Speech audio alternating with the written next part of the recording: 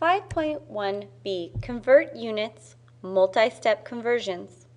If we find that we do not have the correct conversion factor, we can always convert using several conversion factors. To do this, we kind of go about it in a stepwise manner, where we use the first piece we have and then continue on. Let's look at example 1. It asks 365 grams equals blank pounds. If we look at our conversion table and we see that we do not have any conversions of grams to pounds, we can then see that we do have conversions for grams to kilograms.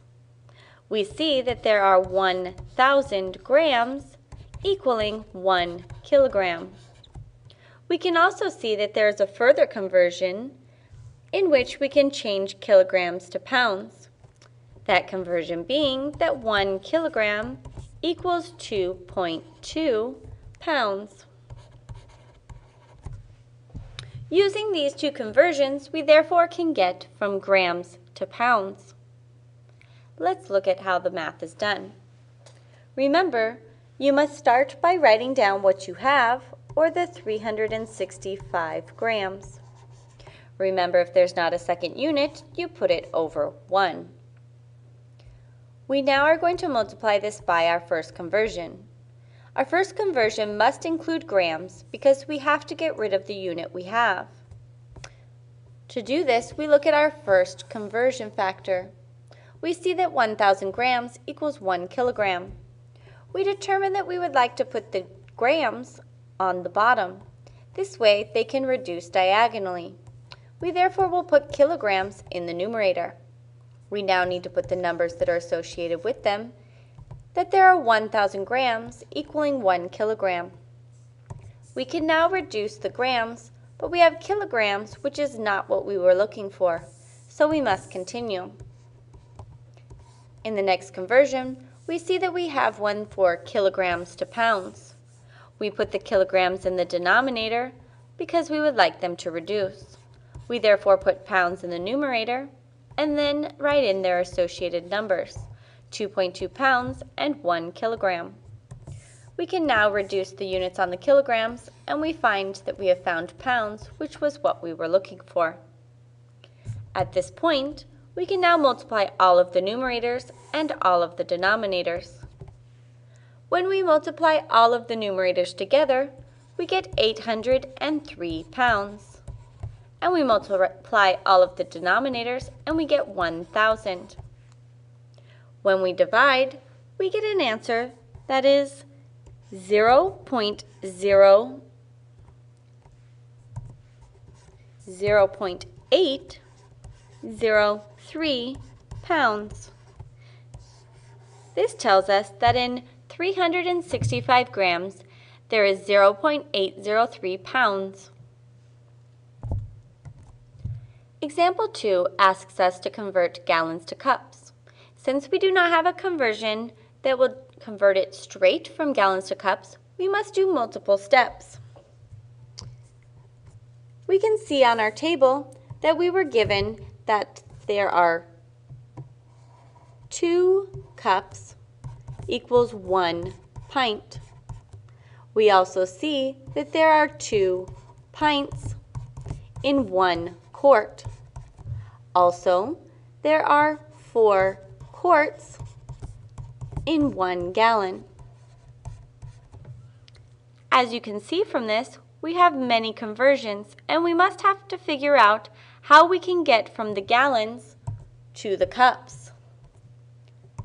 We can start by just writing down what we have, in that we have 5 gallons. We can put this over 1 we now will have to multiply the first conversion factor. The only thing we can use is something that has gallons.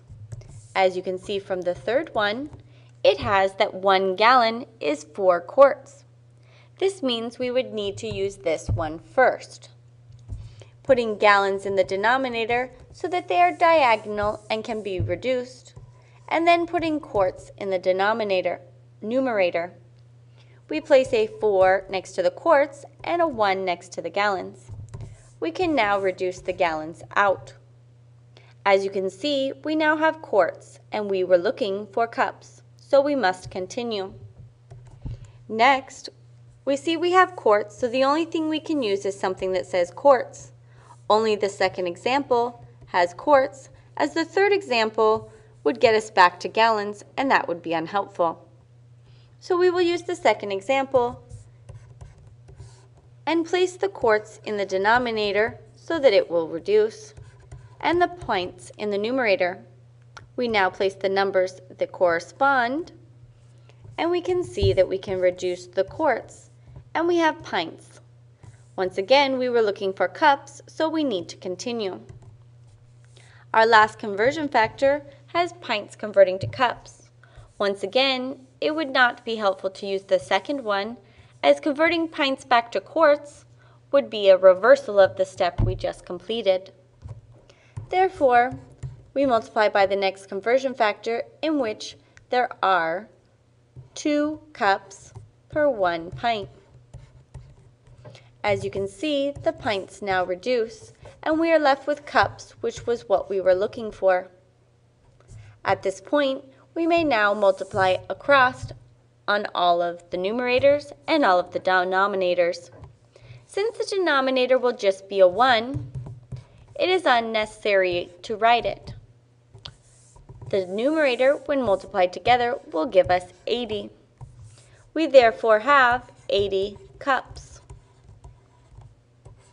This tells us that in 5 gallons, there are 80 cups.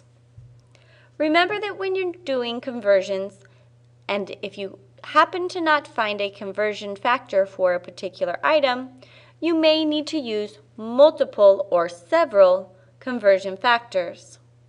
Keep in mind, you must always line up your conversion factor so that the units will reduce.